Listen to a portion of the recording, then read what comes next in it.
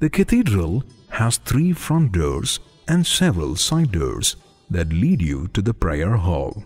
The floor plan of the cathedral resembles a Christian cross.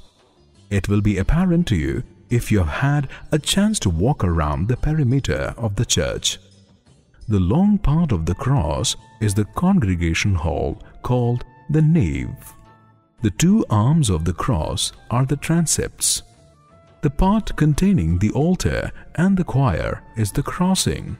The cathedral has a crypt that houses a statue of Saint Philomena. Walk inside and you will feel a sense of amazement at the beauty of the European architecture. What a spellbinding sight, is it not?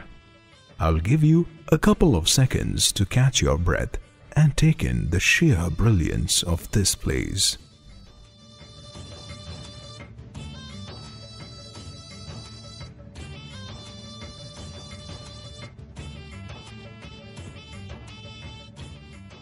The huge church hall has a capacity to accommodate around 800 people.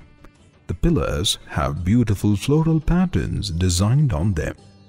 The sanctum adds more beauty to the entire structure with its stained glass windows displaying intricately drawn paintings from various stages of Christ's life such as his birth, Last Supper, the crucifixion, the resurrection, and the ascension.